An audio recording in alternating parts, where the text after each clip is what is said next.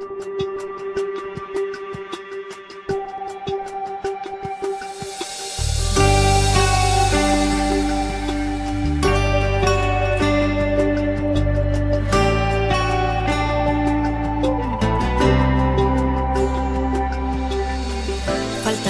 para las cinco, nos tenemos que vestir de nuevo.